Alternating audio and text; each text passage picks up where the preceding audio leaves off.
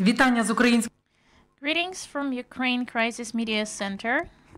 In cooperation with the Center USAID Dobre program organized this expert discussion. The topic community recovery and development. How can we establish modern public spaces and communities? So in the period of recovery planning, well, when, when we actually plan that, it's the time to talk. Why these public spaces are important? It's about investing in communities. These activate business and cultural activity, increasing the comfort, and these are shaping the potential for local economy to flourish. In the community, it's nice to live and work. In those places, it's nice to live and work where they take care of public spaces. More people concentrate this. What is more valuable than human capital? Nothing. So if you remember, before we started reforming the locals of governance, mm, only big cities like even thought of public space concept in villages and small towns they like hate, had no budgets to develop their territories and uh, public activism was not uh, expanding that hard. So the experience of committees to create those public spaces is not that vast and broad but it's not about committees partnering the dobra program. So We'll talk about joint projects to launch those public spaces. From what I've seen personally, those public spaces established with the support of USAID Dobre program, these are a synonym of quality of life in communities at local level. We'll talk today with experts on step-by-step instruction how to establish public spaces. We'll meet the tools used by Dobre program to plan those spaces. There's a whole manual actually for it. And we will even talk about state policy for settlement for settlement development shaped by Ministry of Infrastructure. In each program project action, we have specific people backing it. You know, like people who make decisions, decision makers, those who are responsible for it. And I do think that Dobra program is really lucky with decision makers. So uh, because we have so many successful projects implemented like in various sectors of community life. So it's my pleasure to pass the floor to Brian Campbell, head of USAID Dobra program. Thank you so much and good afternoon. Thank you so much for joining us today. As we mentioned previously, our partners, communities, uh,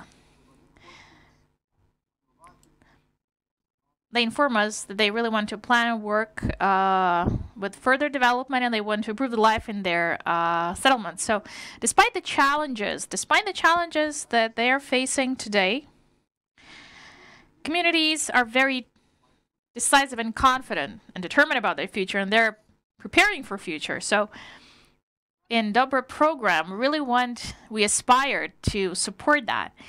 And um, this is reflected in uh, so many areas of our cooperation with communities. Dobra program played a crucial role, a leading role, I'd say, in establishment and drafting of the methodology and designing the comprehensive programs for territorial recovery. So we helped 18 communities to draft programs, recovery programs, and we try to scale up the support to other communities as well. We use the designed recovery programs to ensure that we provide direct support to communities, to ensure they provide services to citizens. As it can, as we can see today, when we start this event, we also help our partners, our partnering communities, for them to establish various public spaces. And uh, we truly do understand and recognize that today in Ukraine, we have certain uh, disputes on how should communities spend their money during the crisis, during the current crisis. And uh, it's not for us to decide, of course, but we're pretty sure that someday communities will pay their full attention to creation of better future for their citizens. And uh, taking that into consideration, we are actually preparing those uh, preparing the advice and support. Thank you, Brian. Thank you, and big big thank you for your truly Ukrainian spirit. You've been in Ukraine for like uh, three years, and uh, you're actually doing so well with the language. You've mastered that. Okay, so we talk about the tools on how to plan open public spaces. Uh, tools used by USAID Dobre program. Who will be the beneficiary of that manual? Who can use it actually? By the way, I'd like now Vitaly Yurkiv, local economic development expert of USAID Dobre program. I pass the floor to him, please. Good afternoon. Ladies and gentlemen, the manual uh, I was engaged in drafting of that manual and many of my colleagues as well.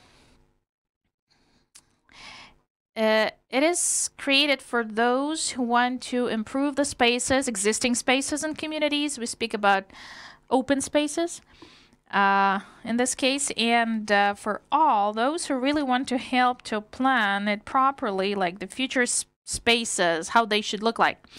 So let's say that.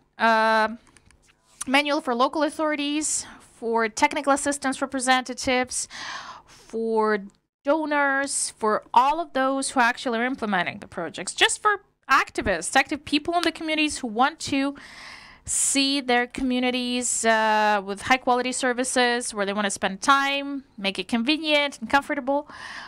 And I just want to give you two examples, okay? Uh, from my experience, personal experience. One community regional type recently. I visited that. I will not give you the, the name of it okay? But i was walking uh, past this small central square and the town it looks very well. The pavement you know concrete you know fir trees and stairs and like something looks like art in the in the in the center. And i said like oh the square looks so fine. And local lady heard me and says like yeah it looks at first glance it's okay but it's not convenient. Everything is in concrete. It's it's paved no benches. And these fir trees they give no shadow when it's hot in summer. So yeah and the other example. The community from the us uh, was looking for a place to establish a market a farmers market like that. And they've uh, put it in one place initially uh, the sellers did not want to go there. Then they relocated it. Again, some problems where buyers did not want to go there. It was not convenient. There was no parking lot. For three times, the committee was like putting it here and there, you know, the, the market, relocating it to find the balance of interests, like for those who will use the market. Um, yeah. So, from the standpoint of our program, we tried uh, to pilot those projects in the communities where we worked, these, let's say, the, the, the most popular projects on the program, uh, spatial planning and design. And with the help of our authors and consultant created this manual where we tried with simple plain language you know just to describe how should the process look like for that space to be established. You'll you'll hear the details. You'll know about the chapters. Just a couple words from me on the key blocks yeah? So Communities who want to create spaces or to improve these. Engage consultants and experts, please. Don't just think that you can do it on your own. Yeah, maybe in your community you have wonderful people, architects, designers, yeah. But give a chance to those working in a team with engaged experts, yeah? Plan your budgets for the consultants uh, or search for resources if someone can give you the, the consultants. Okay, second thing. Before you buy bricks, concrete, whatever, plan the design, plan the space, okay? Ideally, you will find a chance simultaneously with a team of designers and urban experts to have those working who uh, create the budget plans for projects. You'll have the synergy, okay, between these two teams. Third thing, don't forget uh, the project that you're handling. Prioritize this as a community document or strategy, development strategy, or the economic development program, whatever. It must be a document. This project must be officially endorsed by your local council for this project to be official and legitimate as a priority. And then you'll have more chances to find resources to support that. Okay? Thank you so much. Yeah, that, that's all I wanted to say. Okay, Vitaly, thank you. You've uh, mentioned many things, but uh, we'll put it like uh, the very end for Q&A. I read a lot when I was preparing, and I have loads and loads of questions hoarding in my head. Uh, I still have no answers, but we have architects, urban experts, and we discuss the step-by-step instruction to establish public spaces. Anastasia Hulevata, public space, con space consultant, architect, urban expert, and manual co-author. Okay. Anastasia, please. Greetings. I'm so pleased to meet you. Can I have my presentation? Yeah, sure.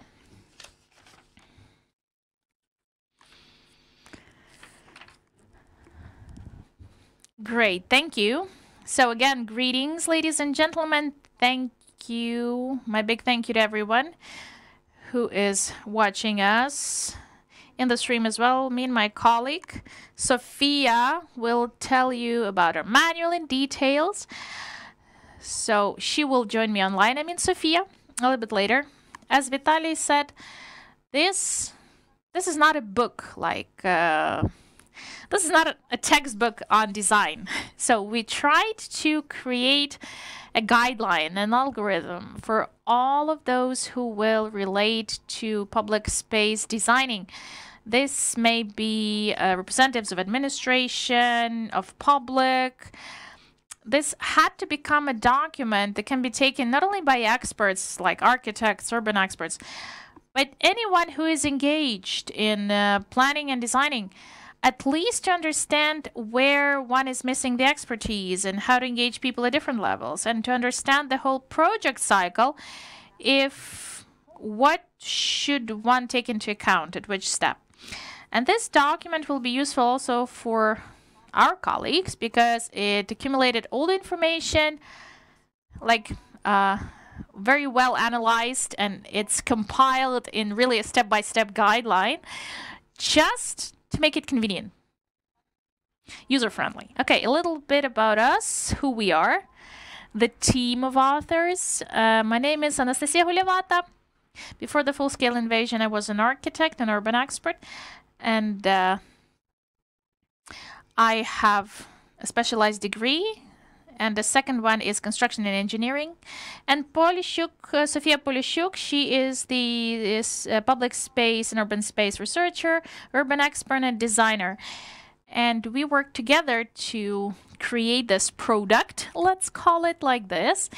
And a couple of words on how, what was our approach actually, what this product is based on. So together, in our portfolio, we work together with so many projects, starting from the concept of spatial development, the urban projects, how to activate the urban spaces, in general of the urban planning strategy, uh, public space concept specific ones, some linear, you know, big items, big spaces like parks, and to the tiny targeted ones like small spaces that activate certain zone. Also, uh, private architects practice interior design and uh, such projects which are more relevant to our today's topic. Public spaces, external and internal. Building Ukraine together. We will have a speaker presenting this project giving us some more details. We worked with them in synergy in various projects. From the public spaces to more social projects, we had uh, the project of dorm rearranging, Institute's dorm rearranging for IDPs. Uh, these were different projects, yeah. Also a project of medical education development for student spaces. We help to rearrange student spaces. Uh, this is like a type of social space, but quite specific, you know? So uh, we had to be, we had to carry out specific analysis and to work with that type of space and specific beneficiaries, let's say. Of course, you say Dobre project. We've been cooperating for years already, and uh, we're so grateful for the opportunity to have these really valuable contributions. And it's so good to have such wonderful long term uh, partners. It's not just one project, but this is truly a huge experience with public spaces, the manual we've generated, and even now we're still working. We have three public space projects implemented in three communities we already passed the stage of concept. Soon we will show the result. Just uh, in a couple of months, we'll show you three full concepts IREX project also. 12 projects of youth uh, public centers all around Ukraine. Yeah, with that really diverse portfolio, with various specificity in various uh, concepts, we've uh, established some base where we managed to systematize and analyze our experience, and we used our knowledge, we used our degrees, we used our expertise. The studies that we ha that we carried out to create the manual. So we picked some regions where we had additional analysis carried out, where we studied thoroughly using our own experience, me and Sophia's, and uh, uh, the years of, of partnership with USAID Dobre, we merged that all together, and it actually became the foundation for the manual. And I actually wanted to pass the floor to you right now. Yeah. Thank you so much. Greetings. I just want yeah, Miss Sophia, I want to introduce you first. Sophia Polishchuk, public space consultant, urban expert, designer, and also a manual co-author that we're actually talking about. Okay, so we're listening to you. Thank you. Thank you. I want you just to add uh, that uh, we took this background and we had it thanks to the strong synergy. And uh, the synergy helped us to create this big artifact the manual.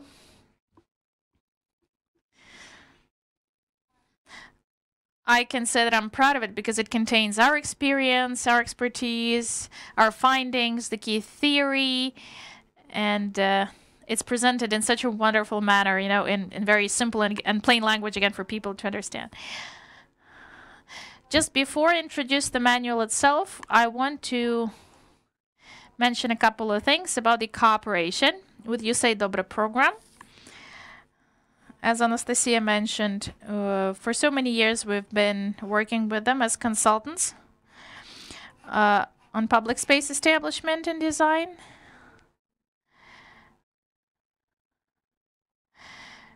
So we had three interesting outputs out of that partnership and maybe important conclusions we'd like to share, which became the foundation for the manual first conclusion is that there's no one size fits all solution. There's no one single solution. And if someone says that it exists, that there is like one set of tools or one set of items or objects you need to have in public space, no, it won't work. It won't be successful. It doesn't exist. There's just a unified framework of the project. Experts and consultants can move in a specific direction with that framework in a productive way, but it's just a general framework, okay? And uh, every project, you know, has its own personality, let's say, yeah? Every project is unique and different contexts, different nuances are there. It's important to engage specialists, you know, at that level because geographical conditions, just the natural landscape, cultural, architectural, historical heritage, economic environment, you know, certain location, social context. It actually uh, affects the process and how you design the space, um, how you shape the space. And uh, of course, we have pandemics, we have the war in Ukraine, so even small things like even the uh, volume of the team, those who are ready to work with this case, the, the team itself is even impacting the methodology. Therefore, Please engage uh, experts, engage people who know how to do this. Those who will respond to any nuances and changes and will adapt it specifically to a context. May I have the next slide? I just want to tell you the next thing. The, the key approach that we used during work and we integrated in the book is cooperation with communities and joint placemaking. This is important. The communication itself with people is important. You need to have working groups, communicate with stakeholders. Uh, we have also to focus on community. It's not done in vacuum. We did not make design for the sake of design. It's for people. So our successful cases, like Vitali mentioned, by the way, in the book, the perfect case is when local materials or products are accessible, when we use it for the public space in certain region, maybe a public garden where children from this local school take care of it. Or some flower beds you know where locals just take take care of that you know? What we create with the community together it must be used and maintained by the community for this to be uh, activated for this to be uh, for this to live you know? Be viable. Another important thing uh, it will be the next slide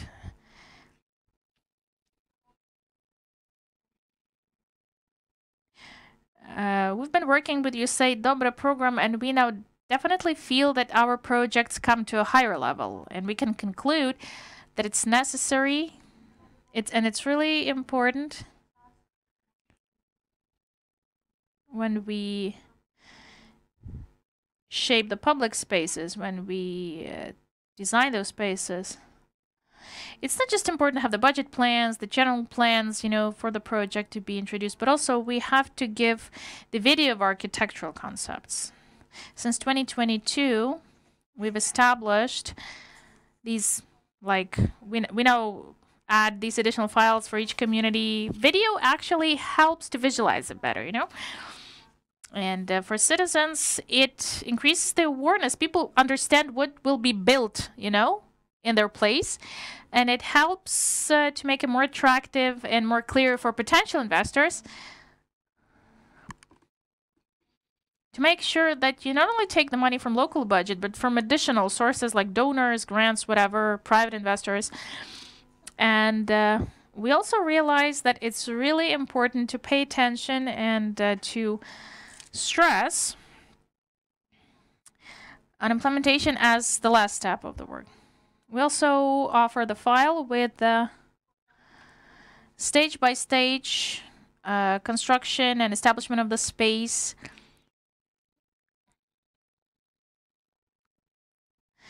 And these detailed schemes for people to make it clear, you know?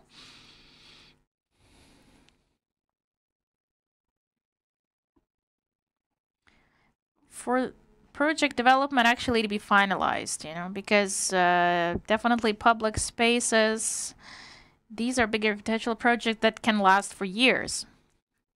How to reach the, the, the, the, the final stage, not to get frozen in the middle, you know, just to have everything you've planned there in the concept to reach everything. That's why we add these materials. And uh, for the book itself, the next slide, is, is the manual itself. So everything we had, we packed it, let's say, in the book, in the manual, how to establish a public space. And yeah, uh, this is not just a book, it's a step-by-step -step guideline or instruction. It will be useful for so many people, as Vitali mentioned. It's, you don't have to read it from the first to the last letter. Uh, it's useful in many aspects you can use it as an instruction. You can start using it from the middle, just uh, checking the algorithms of actions. You can uh, uh, search for some ideas there, meaning the, the visual elements, or start reading from the end. and Anastasia will tell us about the content, and you understand that these blocks, uh, you can actually change the sequence. Just how you want that to happen, okay? Okay, Nastya, please. Yeah, now the mic is in my hand again. Okay, so details about the manual. First, about the chapter of the manual, which is the album of solutions, project solutions from Dobre. And we took all the projects of public spaces established uh, as of 2022, so many of them, almost like 40 in this specific area. So we realized that we can't show all of them, it doesn't make sense even. And we have to analyze and systematize. So we've uh, checked that all, checked the details of all the projects, split those in categories, into types, and we picked 12, which are in the manual on the album. This second part of Ukraine, these are the 12 projects. They cover a vast geography, you can see. They show us various contexts, geographical, climatic, uh, cultural, and so on. Mm, also, various project based on its type. In the end of the book, the last this is the last block, you can check these 12 projects, as I as Sophia told, to many maybe get inspired with some ideas. Uh, and you can see what is so specific in each type of projects. Also, these 12 projects, these are not the only Dobre projects that we showed in the manual. These visualize and illustrate certain uh, blocks or areas. If project fits this block or area, we show with Dobre how can it be put in practice. Okay, so that's how it looks in the book.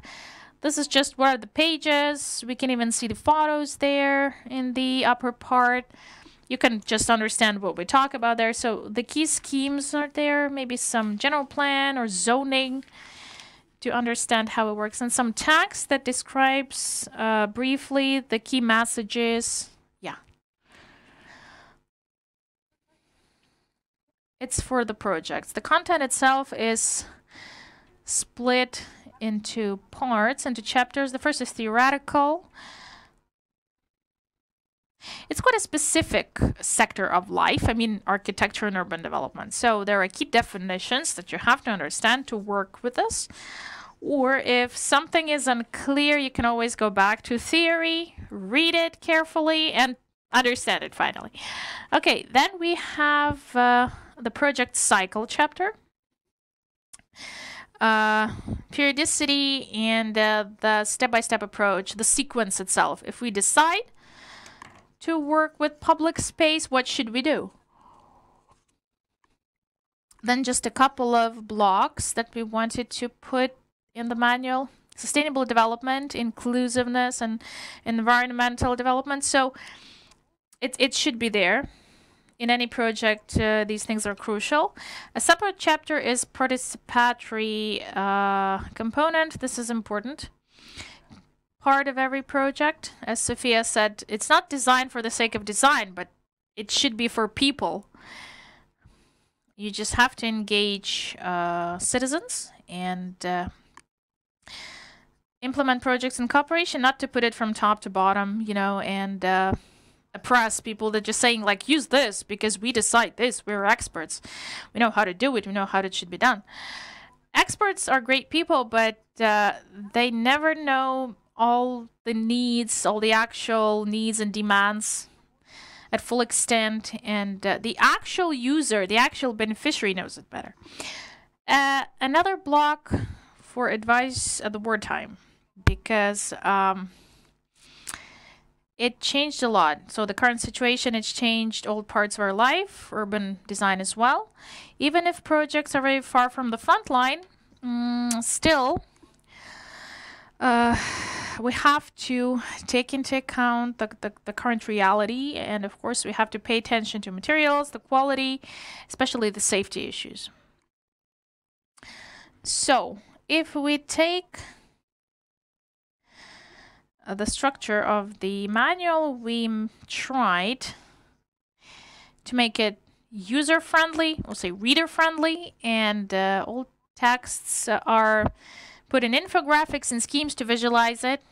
At maximum point, not read like 10 pages to understand one specific issue. It's, it's more of a guideline instruction. Just open it and to understand where we are at which stage, what I want to aspire or achieve, like what should be there. Okay, the key part of the book is um, the description of the algorithm or the project cycle. We all the time stress that it's not just project, it's not just a set of drawings. It cannot exist in vacuum, it cannot exist just per se for the sake of itself. It's just a part of big work always preceded, usually preceded by analysis and study stage in each project. It's always there first, searching for concepts, various strategies of development, finalizing the concept. Then project stage. So here we uh, have all the financial documents drafted, the budget plan, and so on. Always, you have to consider two stages after the project implementation and uh, actual use. If this is ignored, the best project solutions will just be kept on paper and that's all. These may be unrealistic or absolutely not practicable. Or even if implemented, these may not be functional and effective. And these may even become a problem eventually uh, instead of giving no value. Poorly designed projects or poorly implemented projects may be a burden on the neck and shoulders of uh, locals. It's a high cost of maintenance and use, uh, not activating the economic development, but becoming, but hampering the economic development. And at the stage of concept, at the stage of analysis, we have to think uh, strategically. We have to keep this full picture in front of us. Okay, this solution is there. Like, which impact will it give in two, five, ten years? How community will be able to take care of the object, repair the object, and so on, and maintain the object. Anastasia mentioned that apart from this part of algorithm, we also cover important blocks and uh, modern approaches, engaging people, engaging citizens, participation, I mean, of course, environmental issues, sustainable development, war impact, and inclusiveness. So we give examples. We give international cases as examples, and we search for those examples. Uh, meaning Ukrainian domestic ones. The next slide of course, it's not only our achievement, not only us who bring the knowledge. Of course, we have we have a whole community of colleagues supporting us, and in our manual we gave references to other materials and other sources. Of course. Um, the manual from Ukrainian urban experts. Urbanina, Big City Lab, uh, земля. Also, we collected some useful information for uh, for which may be useful for public spaces. Manuals created uh, with the help of USA Dobre on strategy and funding, and uh, we collected some useful materials results of the studies made by foreign experts as well. Just a little bit about the design.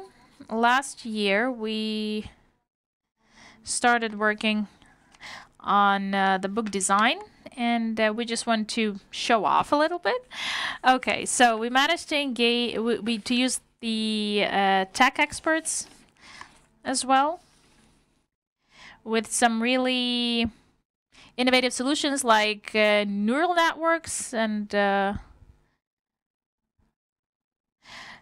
these illustrations, for example, it was generated by a neural network, DALL-E, and uh, Another interesting and nice fact we wanted to leave something interesting in the book, some interesting reference.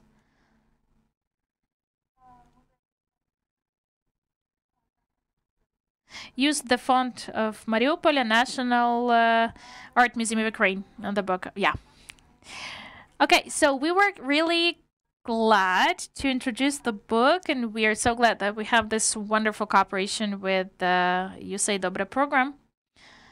I'm grateful to Vitaly Yurkiev. He is our curator. He helped us a lot, and thank you for promoting this activity. And we're grateful to the half of uh, the program employees and all the consultants and experts that we managed to communicate. We've uh, processed all the cases that uh, USAID Dobre managed to present and complete. Sophia Nastya, I read the book. I had enough of time to actually read the book. I'm not an urban expert, not an architect. Uh, for me, some things are quite unclear, but what I I was usually looking in internet, but now I definitely know that in future I want to create a public space, and this will be uh, a, a, a hotel for insects. And it's it, it's it thanks to you it will happen, but this is really an interesting thing. There's already a question to you on social media because we are streamed on UCMC Facebook. Alexander Solomashenko is asking, how can you get, how can, can he get the manual like in paper format and uh, online, electronic? Today we actually plan to publish it. Uh, please check our updates on Facebook page. You can look for it here and tomorrow on decentralization portal gov.ua and UCMC webpage, the electronic version. The paperback, well, uh, send us a request. We'll check. Maybe we will uh, request another batch and we'll tell you where you can take it. Thank you. Another question to Anastasia and Sophia. I don't know if Sophia stays till the end, so I'll read it now because it's from social media. How can we contact with Miss Anastasia and Sophia? Uh, yeah, people are looking for your contacts. I couldn't find your Facebook page. Our charity fund, uh, the Palms of Peace, we want to implement a couple of public space projects in the occupied Kharkiv communities. Girls, how can we yeah, the last slide of the presentation actually has all the contact data. I uh, hope we'll publish the presentation. We're open for cooperation. Thank you. Thank you so much, ladies. And we move forward. We speak of the formats to engage the users to create public spaces, instruments of participatory designing. Pavlo Bilik, USAID Dobre consultant. Yeah, thank you. First of all, congrats. Congrats. It's a wonderful manual. As an insider, I had a chance to familiarize a little bit earlier and I uh, already managed to read it. I advise you to read it. As ladies already said, uh, in the market we have so so many similar publications, but this one is unique. It's specific because of this guideline format and uh, with other materials that you maybe do already have, you, you should keep it on your shelf. If you're an urban expert or if you're a person who wants to keep fingers on the pulse, how it's changing in your community, I'm grateful to you, say Dobre, Global Communities Ukraine, for the chance to present uh, my ideas and to be engaged in so many projects previously now. I'll talk about some of these in my presentation. My name is Pavlo Bilik. You already know that. I've been in this area for more than seven years. I started my career with Lviv Polytechnic, uh, Polytechnic's Department of Architecture, then master's degree in Paris School of Urban Studies. And I spent some time in France, and worked there. As you can see from my presentation, I'll talk about public spaces, the projects I was engaged in, and uh, where I uh, was a designer. And I will focus on participatory designing and engaging the uh, users and beneficiaries. Okay, public spaces. so I guess this is the topic. Mostly we all understand what it is about a public space, what it is. It's not a private space, okay? It's not uh, a conservation area. It's not uh, a restricted administrative unit. So when we speak of public space, when we imagine that it's a park, square, street, it's uh, external, outdoor item, but public spaces, these may be libraries as well, youth centers, public centers, and we have to, we don't have to ignore these as well. But usually these are taken as interior projects. Okay. We can take all public spaces, split these. This is the typology. It's not the exhaustive list, of course. This may be internal, external, transit, uh, or nuclear depending on configuration of space. The scale is different.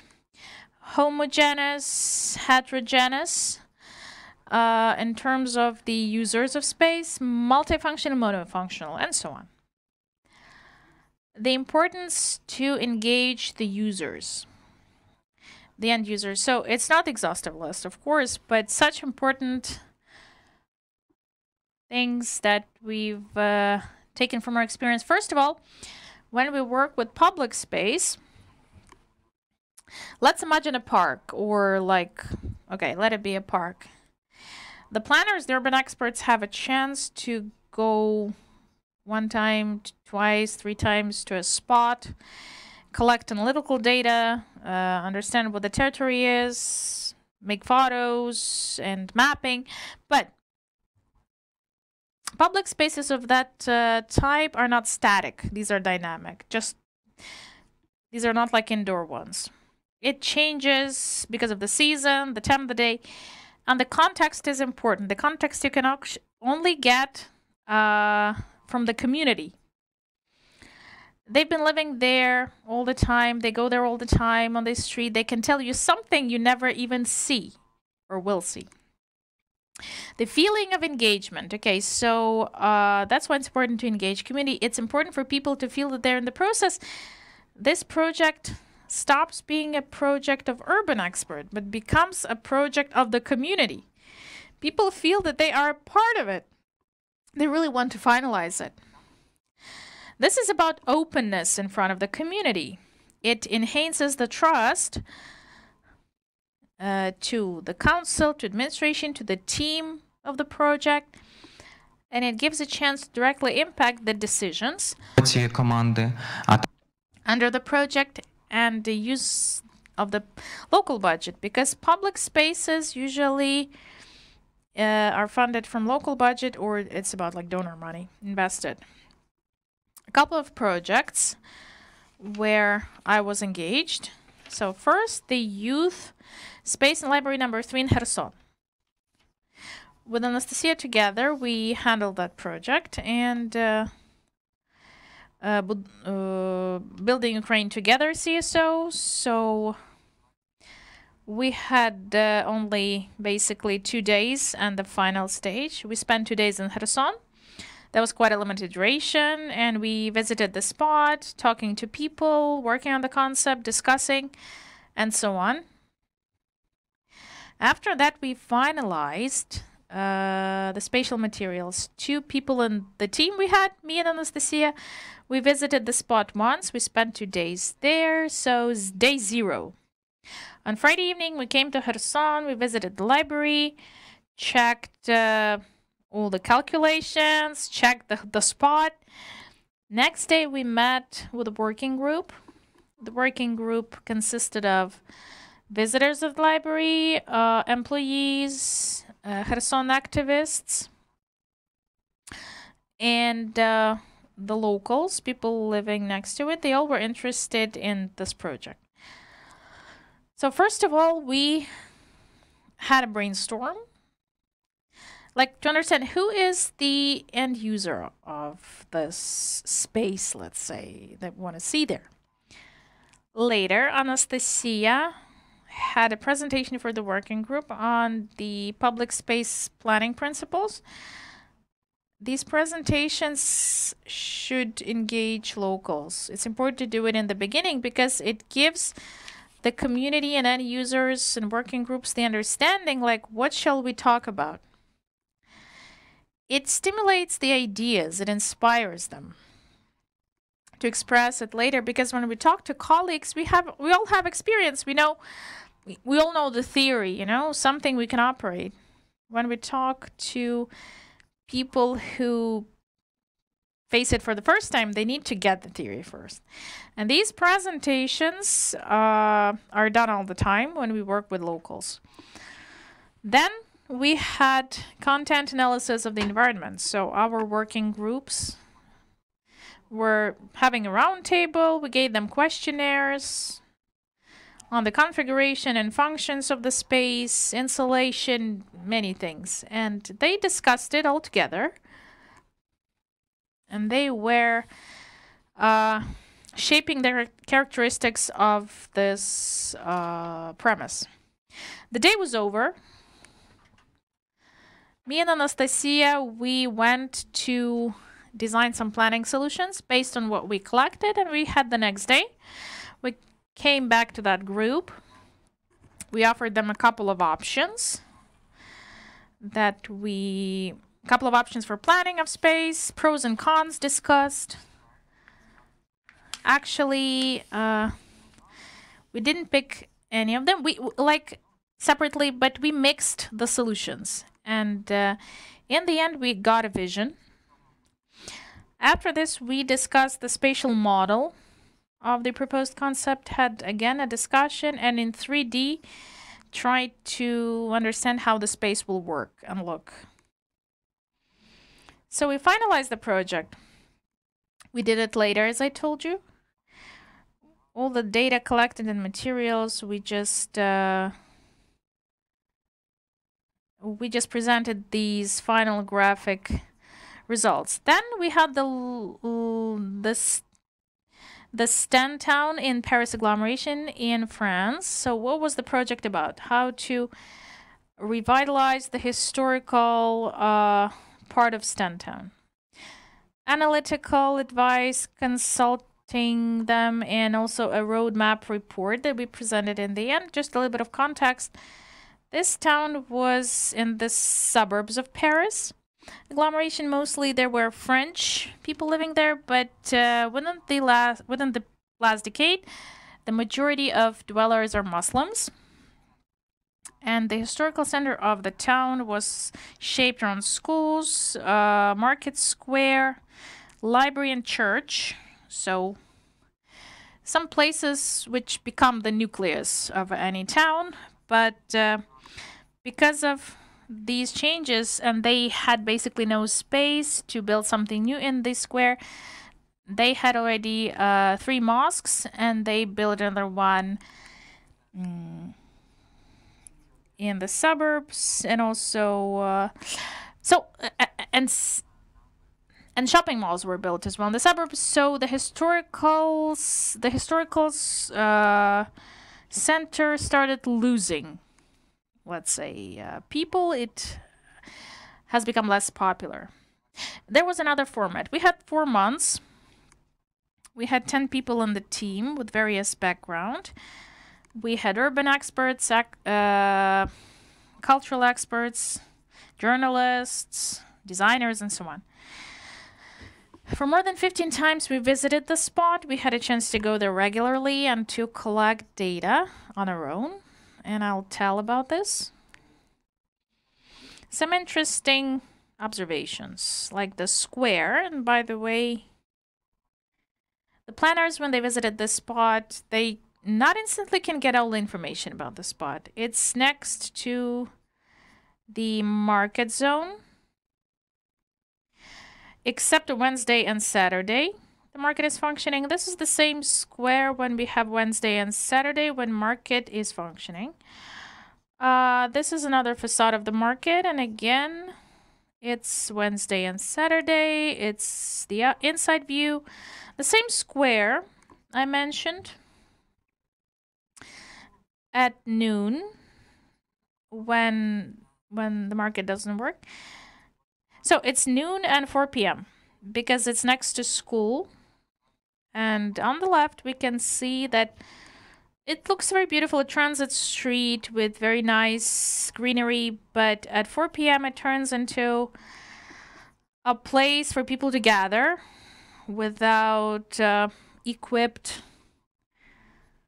uh, waiting zones. We have parents sitting on flower beds or on pedestrian uh, zones. So this space is dysfunctional. But Pavlo, how much time do you need? Okay, yeah, because other speakers are waiting for us. Yeah. So I'll be brief. One of the approaches that we used, mapping of the space together with the community. So we printed the maps. We came to the market because the visitors of middle and uh, elderly age in Mediatek, we had younger people. We had interviews carried out in the central part of the town and we tried to see who was using the place, how much time did they spend. We created analytical data out of this. We observed the cars, the vehicles, if the traffic is intense in the central part. And thanks to this observation, we realized that Central Street is so intense and uh, busy that it splits the historical center into two parts. It's hard to cross it. Visually, it's inconvenient to move. The projects that we managed, that we discussed with Anastasia Irex, youth spaces in uh, culture institutions in smaller communities. We studied the users, designed some solutions. Two months for this project, six members in the team into pairs, and everything was purely online because we had the lockdown then. Uh, due to the pandemics, COVID pandemics, and the approach was like that. So we had basically not just to make a presentation together with the community, but for the community, okay, we wanted community to do it on their own and give us the information, and then we share the results. We gave a basic theoretical presentation. We sent each team an actual box with various uh, designing means, questionnaires, where they could shape the analysis of the environment. Mm, different design solutions, these color circles and palettes, uh, samples of interiors, and also we printed uh, the plans of interior plans And these uh, models made of cardboard, they could use it in, in an interactive format and to configure the, the, the, the space to create a vision. A couple of photo reports, like how communities uh, managed to finalize the project. And these already are the finalized materials, 3D schemes, and interior designs. The last one briefly because you want me to stop talking, okay? the projects we have right now, not so much information. These are still not finalized. Hlybotska, Nedoboevska, Novovorontsovska communities. We create concept projects of park-type public spaces, outdoor ones, big ones, yeah, really big spaces. Analytical and project activity engaging communities, designing graphic concept materials, and video visualization, of course. We started doing uh, this since 2022. Now it's obligatory and community understands better how the space should look like. And we can engage donors and look for additional funding with videos because it looks really representative. For six months of duration, three mem team uh, members. We only had uh, three visits, offline design session, online sessions, and discussions. These are the tools that to be used to engage people, questionnaires, working groups, online sessions with broader circles, and design sessions offline. Design sessions, that's how it looked. And thank you so much. Thank you, Pavlo. We will have representatives of the ministry shaping the policy from urban experts, from consultants. Uh, we want to get it. Is it enough for you? Like, is it enough of regulatory framework that we have, the applicable one? Is it enough for you to do the work that you're doing? And then we'll go to people from ministry. I'll pass the floor to Nastya uh, later. Uh, so uh, the urban design is quite a young uh, branch of science, let's say, um, especially in Ukraine. When I was a student, uh, it was not. It was for urban design and it, it more of a planning, nothing of sociology, culturology. In foreign countries, urban design is a separate area, multi, uh, multi it's a multidisciplinary dimension already. And uh, therefore, we definitely lack this approach in our regulatory framework. But mm, it's it's evolving. We still have uh, we have very good amendments regarding inclusiveness, so we move in the proper direction. And I think everything's going to be fine in these new publications that we have. It's a great way to create a better theoretical background, something we lacked, but now we have it. And we speak about uh, establishment of state policy in the area of recovery planning, cooperating with communities, and uh, coordination. Deputy Minister of Communities, Territories and Infrastructure, Natalia Kozlovska is with us, please. Thank you. I do I do hope you hear me very well. Yes, we do.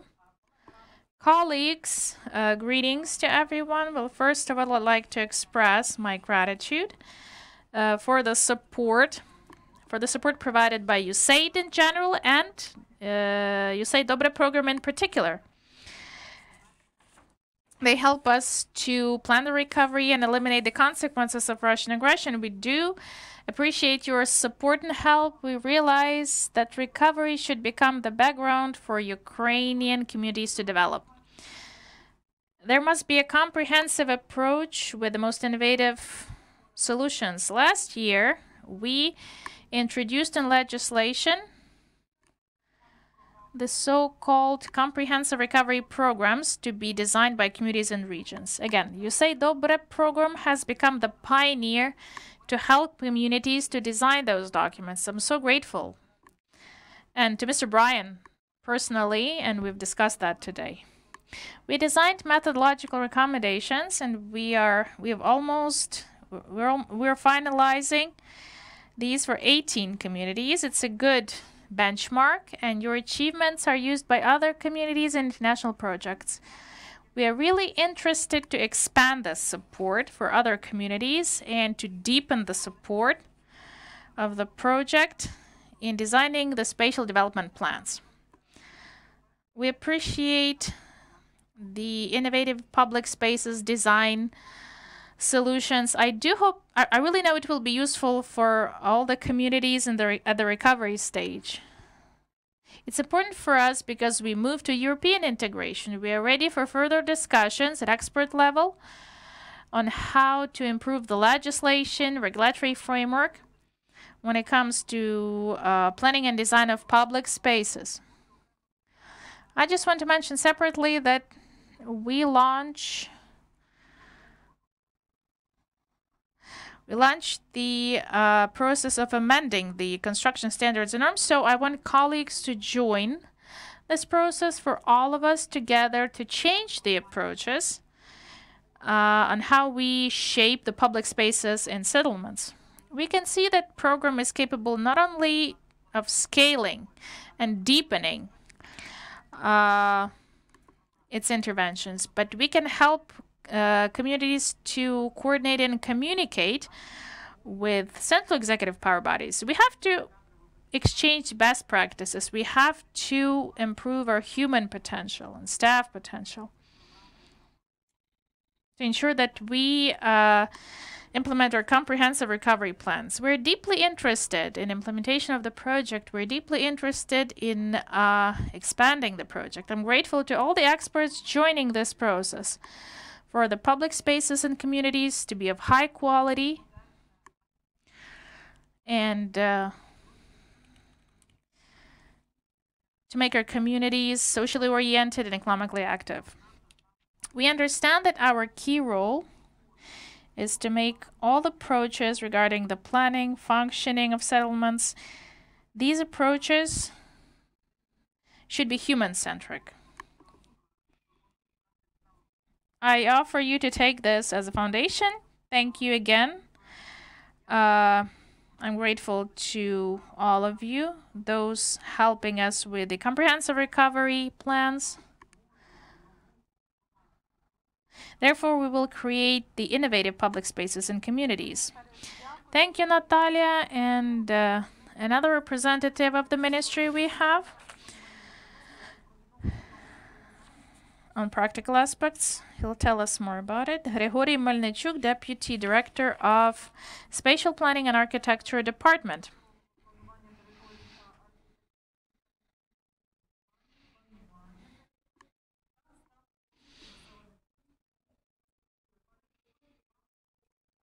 So please, Grigory, you're welcome.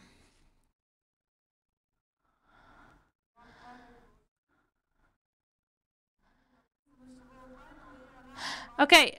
Oh, so you're you're not online but offline. I'm so happy to see you offline. So greetings, greetings, ladies and gentlemen. Thank you. If I may, I have a presentation, please. Yes, absolutely. Uh, I just want to continue with what Natalia already mentioned.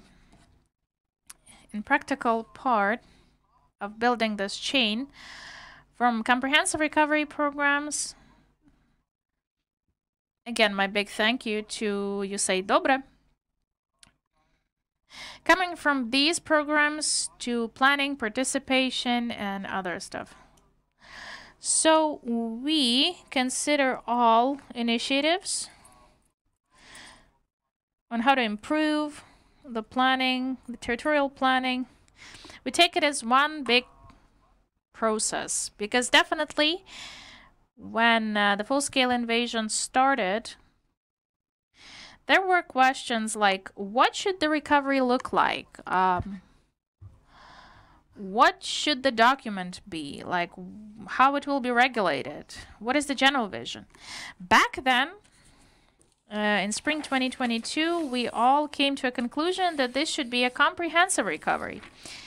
And uh, this is a continuous process of modernizing and uh, further practical integration of Ukrainian settlements in uh, European civilized community. Can we have the presentation? So, when we talk about the comprehensive nature of planning, when we talk about the logical connection between comprehensive recovery programs, public space planning, and other projects to develop communities. So, in our understanding, comprehensive nature, comprehensiveness as it is, it's about how you see those aspects in the planning that should be considered and understood. From the standpoint of five various uh, concepts. When we talk about program-specific projects, so such planning areas as spatial planning, economic planning, human capital development planning, transport planning as well, planning uh, and uh, recovery, environmental recovery and resource recovery administering as the sixth block, ensuring the actual implementation and further development. So, it's really interesting from the practical standpoint that when we take public spaces, not just like architectural objects or places for people to recreate or entertain. But when we take Public spaces, from the standpoint of local economy, uh, environmental protection, and restoring transport communication because public spaces quite often these are the places where so many people uh, meet every day they have some random interactions sometimes they can just stop elsewhere and have a cup of coffee and talk so uh, it's like a micro city concentration in urban space uh, within a small location that has so many functions. Therefore, I'd like to congratulate you with this wonderful result. And when we talk about some practical further actions, yes, as Natalia mentioned, it there will be a huge work on amending the uh, state urban planning and construction standards as it was presented previously on the slides by the manual coder, there's no one universal solution. We don't was we don't want this to be overregulated, to have the, the very same standards and the same public spaces, you know. Maybe well, we have to understand what actually hampers that process. Maybe something should be changed. And then, based on practical projects and cases, we can uh, establish the framework, not only the regulatory, but uh, create some recommendations for communities to be able to adapt to their needs uh, and at the same time to ensure this human-centric framework. Starting from the inclusiveness requirements, uh, eliminating barriers and spaces, and with uh, the opportunities provided by public spaces for people at least to communicate. Thank you. So, retrograde Mercury, it's not just problems with the connection, but we also have problems with presentations. Public space concept, which is not uh, in our legislation still. Will it be there, the definition itself? Well, um, it depends a lot on uh, proposals to ministry, and we really encourage uh, the manual authors and the project team, please give us your proposals, give us your ideas, not to create, again, an overregulated, uh, not to create some extra bureaucracy, please, but we really want to give some extra opportunities. At the level of comprehensive community plan, detailed territorial plan, we define that this territory, for example, is a public space and it requires some uh, separate regulation, or this is not needed. We don't want to overregulate, but with the standards to give extra opportunities if there is a need, we're open to any proposals. We have your presentation, but I think that you already told us everything. We'll have a release, a press release after this discussion. Uh, can we put your presentation in the release and we'll do it? Briefly.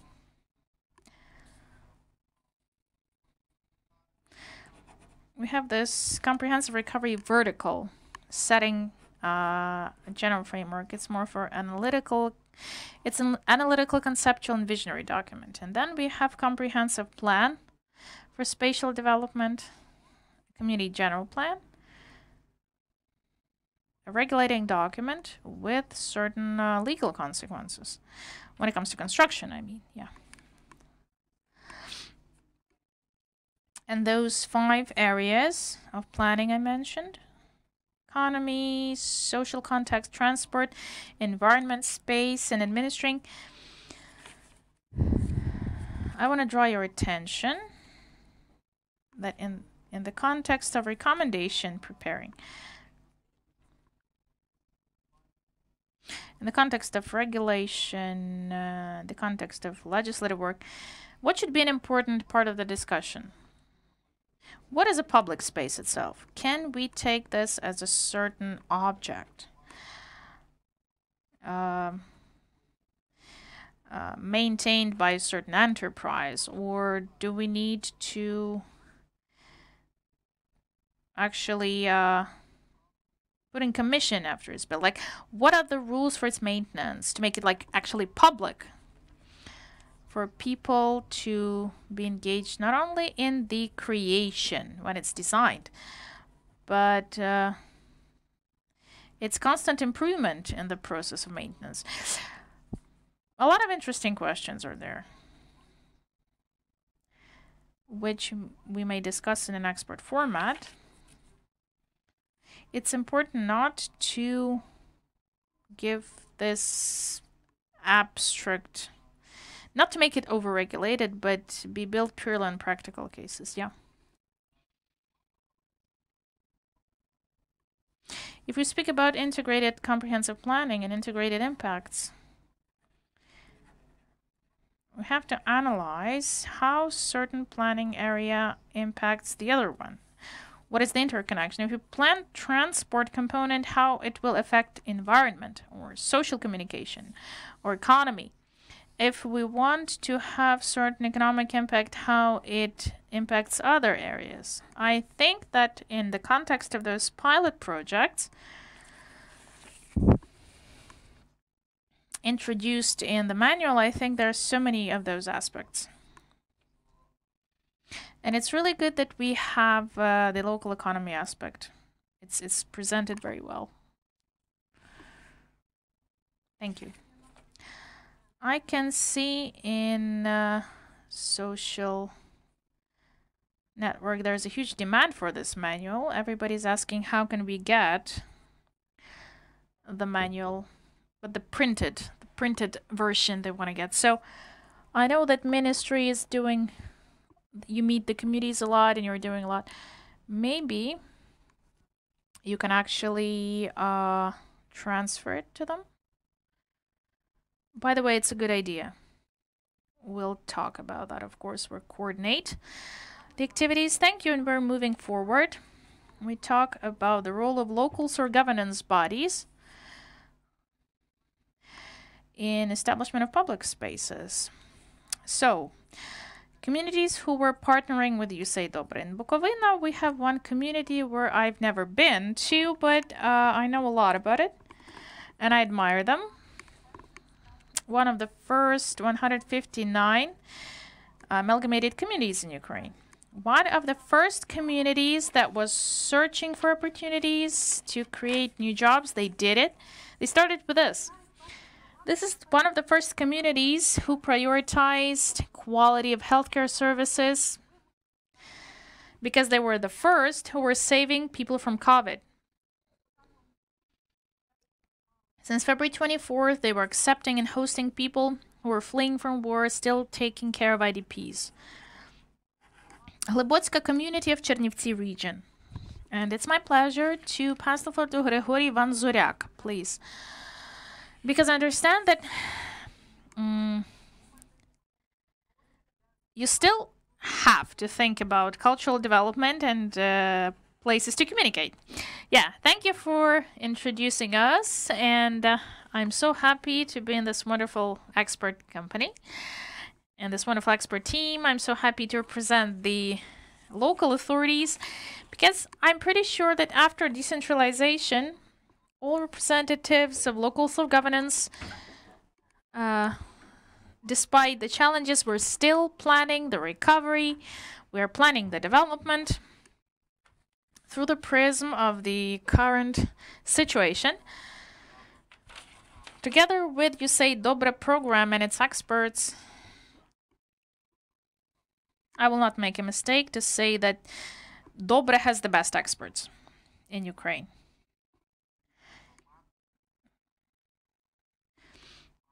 So we managed to create mechanisms and plans for development. And uh, I remember the pre-war time when we were drafting the development strategy. In this strategy, we already uh, created the foundation of spatial planning, public space development, and we work with that today. It's so important. It's so important to have an action plan for it, to have a concept uh, of how we move forward, what are we doing, and how are we В developing. аспекті того, що е, в нас дуже багато сьогодні. Today we have so many uh, servicemen and servicewomen uh, on duty. Many of them return back home for them, for their rehab to be uh, comprehensive. we need to, of course, provide them these opportunities. We have to look at it through the prism of reality because those people who had Afghanistan war experience, when you talk to them, talk to the veterans, uh, we know that many uh, got this natural rehab, the forest, you know, interaction with nature. So we have to create these public spaces, considering our current experience, uh, equip these, and we have to work all together. Of course, the funding is always an issue that Mr. Brian mentioned. Campbell at the beginning, but it's not necessarily the budget funding. It can be, we can engage grants. Local business can engage, of course, and many other sources, but definitely this is something we have to work on. I'm happy that we still uh, are partners of Dobre program. I'm grateful to Brian Campbell and Vitali, to our experts. We uh, started uh, updating and we now are actively thinking on how to design our spaces. Uh, the park in the community because even in in these conditions, you know, in this uh, situation, our people are still active. More than 150 dwellers engaged in conversation. They took part in the survey, and um many of them uh, met the designers. We did not limited it with some time. Like uh, they could have talked for hours. Many of them wanted to contribute in the design of the project under planning. Uh, and uh, we have a working group in the community. We have representatives of religious, even organizations, charity funds, volunteers, and uh, IDPs as well, who ha- they have their own vision of spaces in community, and uh, it's it's so great. You know, I feel so pleased because we introduced the online project by wonderful designers that we do have. Uh, this this was the dream. This was the dream that we had, and we do understand that this dream and this plan.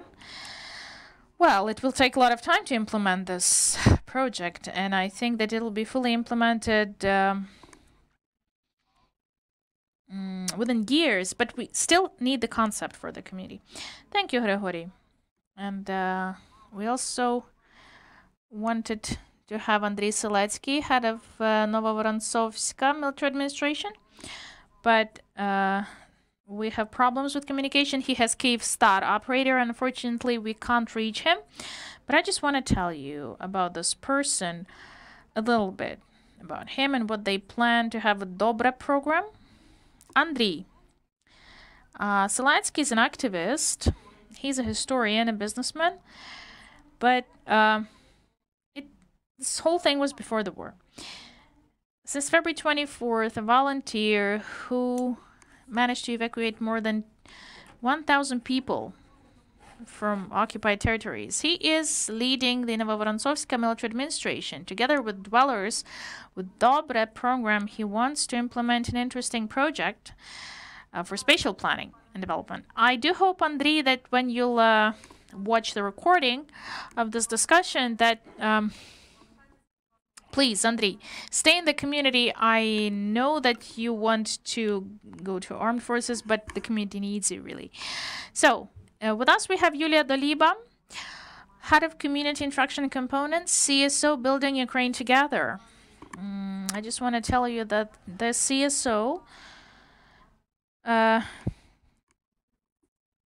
tells us that there is a window of opportunities and modern challenges. For her, it's important, and for the organization, it's important that young people who want to stay in Ukraine, for them to become active participants of recovery. Yulia, please. We'll talk about the engagement of locals and volunteer campaigns and the best practices of your CSO. Thank you so much. Greetings. Thank you so much for the invitation and congrats to colleagues for a successful launch of that important manual. I'm pretty sure this will be of great help to those who want to change Ukraine. You've mentioned a lot about us, and I, uh, yeah, I do think that Pavlo and uh, uh, Pavlo took more time because I shared my time. So please don't be harsh on him. We've been established in 2014, and it started with an initiative of our founder to restore the dwelling of his friend in eastern Ukraine. We realized back then that there was demand for it. First, we had 25 households, and we understood that Ukrainians require that type of recovery. Our mission, uh, our mission is to create environment of responsible people, capable people, in Haines communities and youth. And we have this motto, we're building the walls, but destroying the walls between people. This is important because this is the, one of the key focuses of the team. Our values, responsibility, we have faith in Ukraine, we value diversity and equality. People are different, People are diverse, but we all are equal still. Everybody's important and trust. The principles of our interaction cooperating with business, communities, and authorities. Our key areas volunteering, uh, education and youth development, and community development. I'll take the third one. Camps, local campaigns, long term volunteering, community schools, and uh, we already had one case introduced uh, about Kherson space. Thank you so much. Uh, what is the camp? Seven, ten days of camp activity. We engage volunteers from all around Ukraine. So when we pick a community where we will uh, create a space or repair something, everybody who wants to engage, they do it youth spaces, uh, recovering the personal dwellings. People communicate, they talk to each other, and we really want these camps not just to ensure the recovery, but it's about building personal connections. And we have this educational program for people. People meet each other and just talk. This is the map of the camps. It started in 2014 in the Donetsk region. But uh, in 2023, more than 150 communities already. Last month, we finalized a project on participatory recovery where we covered 67 communities, the occupied regions, and we are so happy that people living in those uh, hazardous conditions, they want to develop, they want to build something new, they want to grow. The results of our work. Велика Северинка this is the official hall, official event hall. We can compare Motyzhin, the school hall, you can see it. We've managed to repair it. Lukashivka. After the full scale, after the deoccupation, this house was destroyed and we managed to recover it. We have volunteer uh, Burchik campaign. It's it's a smaller campaign, of course. One or three day from one to three days. The local dwellers participate in it. Mm. This work works for some small repairs. So communities can actually apply for short-term projects and we help them. It's important because they familiarize with each other, and I'll tell you about one case that I was amazed with. Uh, within our last project, in Mezhova community in Dnipropetrovsk region, they actually were equipping a space to deliver humanitarian assistance to Avdiivka IDPs. And when we had a reflection, at Zoom meeting, we had representatives of the community and Avdiivka, people from Avdiivka who made cakes, brought all that to the hall, and um, we were so. Uh, that was so touching. People were just uniting, they understood each other. People from affected communities had a chance to feel a part of decision making movement, you know, to be responsible, participatory engagement that we've discussed. It promotes, it gives the feeling of unity, feeling of neighborhood, understanding that you can affect the decisions and you can take responsibility for it. And we created uh, this guide. It's still not published, but guide for local authorities how to engage uh, citizens. It's about local volunteering campaigns. It's a QR code. If someone has internet connection, you can actually use the QR code and engage. We always have opportunities. It's not just the CAMS and Burchik campaigns and trainings. Long-term volunteering. From three to six months, volunteers from one community go to another one, where they help uh, to build the youth strategy, on how to implement the youth uh, policies and strategies, even showing movies in small communities, strategic strategic sharing, exchanging opinions. My gratitude to Armed Forces of Ukraine. Without them, of course, we would never be able to discuss it here. My gratitude to our boys and girls. Thank you, Yulia. Inna Homerska uh, tells you, please visit Bashtanska community with your your boer camp.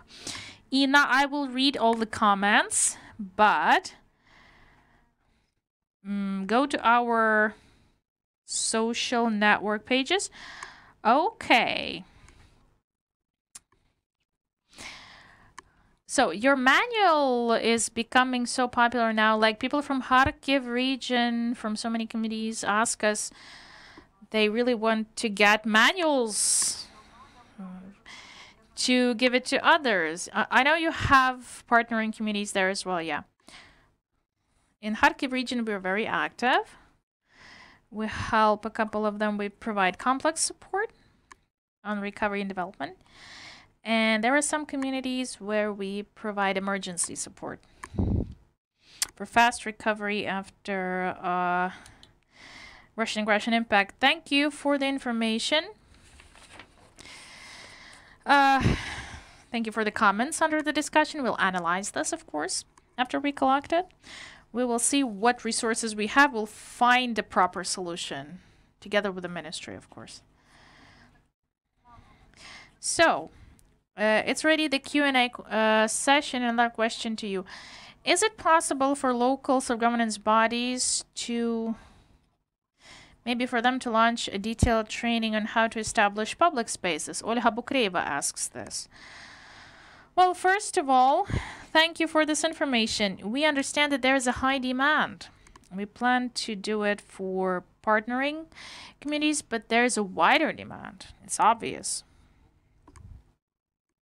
We'll try to organize that and uh, we will inform you at our webpage.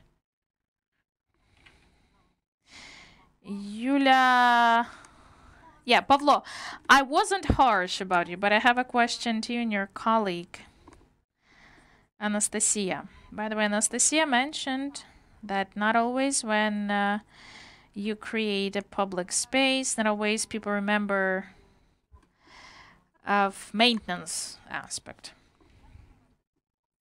How do you think? What should we do with this? Those who create the spaces for the spaces to develop, to evolve, to comply with the needs of people living there.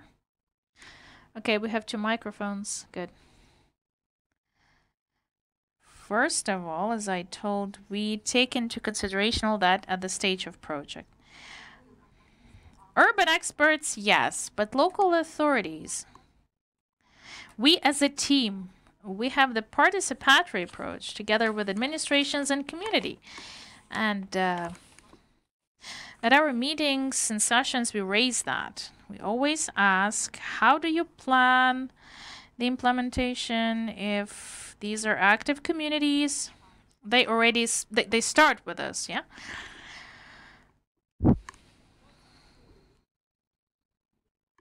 And we already have this part, uh, the roadmap. Break it into stages. If this is a big, costly project, you can't uh,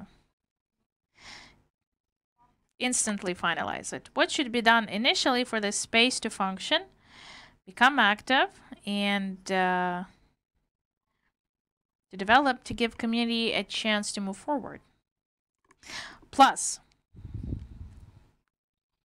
we understand at the beginning, like there are some local businesses. Uh, we understand the local nuances we can use if uh, there's a local producer or if there are local crafts people. We try to study that and to include this in the project for community, not just for community, also to support local producers and manufacturers. We try to find the balance between the cost and quality, and we give advice. In Chernivtsi region, in another community, we discussed the lighting. It's pretty simple, but it gives an understanding like how we work. So they like a certain design, but we explained them why this should not be in the project. You can replace it with an analog of another type, similar but slightly different, that it will work better because of this, this, this, this, this. Yeah? Providing justification. So it's always important to justify. And we ask them, are you ready to do it? But you have to know of the consequences. We can't decide it for the community, yeah?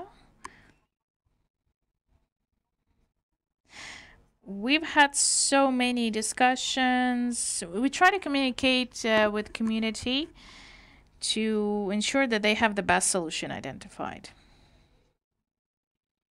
For community to understand what exactly are they agreeing to do. Another question, Pavlo, okay.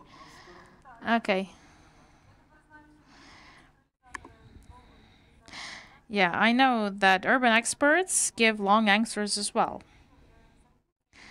Some foreign organizations that helping to create public spaces, they have this definition called Power 10 Plus. You must have at least 10 reasons why a person must use uh, the public space. Is this something that we use Power 10 Plus? Thank you for the question. I think that this is basically something that we both mentioned, and Sophia mentioned this. It's about engagement in total, engaging the existing resource in community. When you have a business that invests in the public space, it will be interested for the space to flourish and function.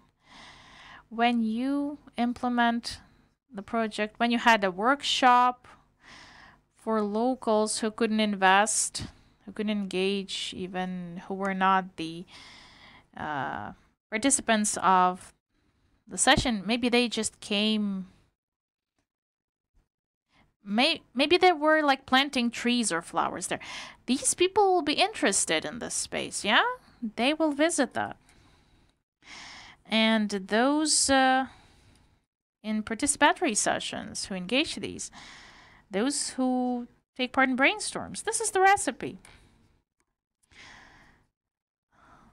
Uh, the more active we are in engaging the target audiences at each stage, the more successful is the project. We have something about it in the manual, the 10 plus that you mentioned. It's important for the space to be vibrant, to uh, fill it with functions for these functions to comply with the context. Progressive urban experts uh, take this into consideration, and I hope that we will talk about this more. Okay, our microphone goes back to experts. I'll read the questions. Vitaly will answer. Nadia Serbulova. How to join the project? Maybe she means Dobre program. I have a wish to establish a public space in Novoodesska community, Mykolaiv region. Well, my advice, just contact with us and uh, specify your question. If a community wants to become a partner, uh, so far we work only with those we started working with two or three years ago. If we continue the program and if we pick new partners, we will definitely announce officially and we'll have a competition.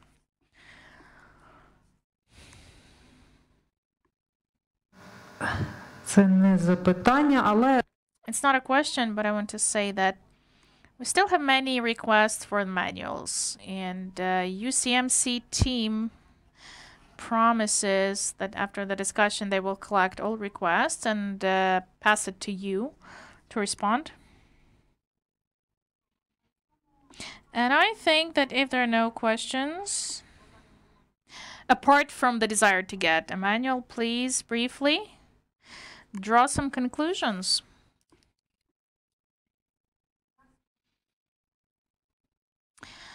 I, I, I still haven't heard why during the recovery uh, process why public spaces are important. As a representative of Dobre program, maybe colleagues will complement. In my opinion, why it's important. I heard that elsewhere that we don't wait for the end of the war. We have to start doing it now, restoring the country.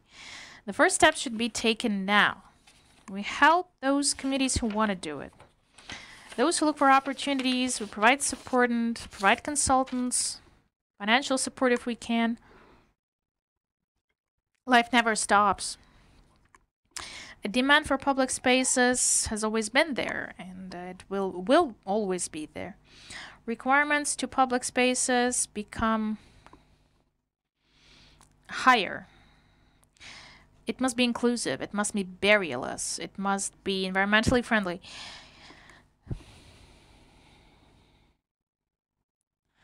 Before we before you buy bricks, plan the space together with experts, not just the experts to do it alone and give you a report. Just be a part of this because you will use the space later your families, your kids, your guests, your visitors. So uh,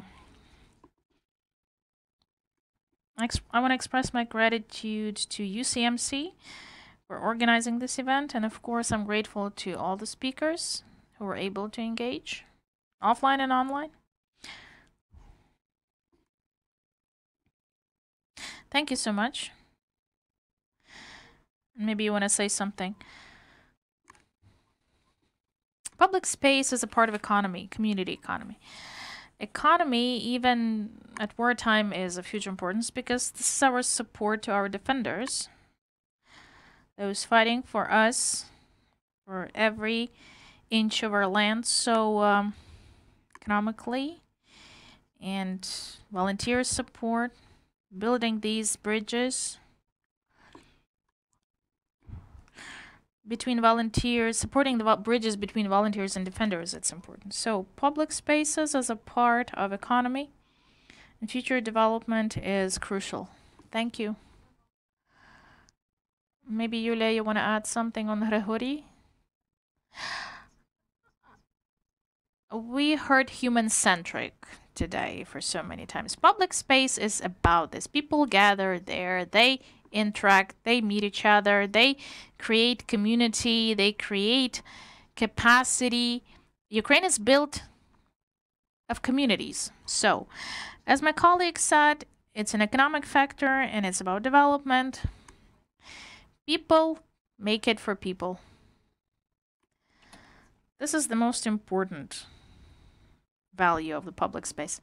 Grigori, I just want to encourage communities to start understanding that public spaces, it's not about just spending money. It's not about spending money on bricks, concrete, benches, whatever. Public space, it's about investing resources, not necessarily financial resources. Investing resources in opportunities you'll get later.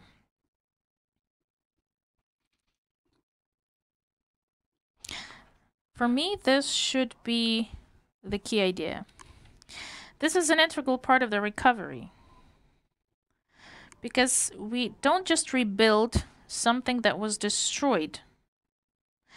We have to build back better to create innovative spaces and settlements where people really want to live, where people want to return, where they want to raise their family, their kids.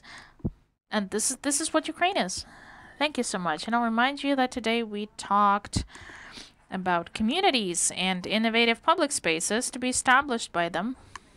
If we try to compress our conversation, uh, when we plan the recovery of the territory, please remember you need public spaces. It's obligatory. Engage locals. Ask them what they need, and together with them, you have to implement the projects. Remember, public space is not just an object uh, that you build and forget about them. They constantly evolve, they constantly develop. Dobre program is there for you. Use the manual and even make it better. I do hope that was useful and uh, have a nice and safe evening. Thank you.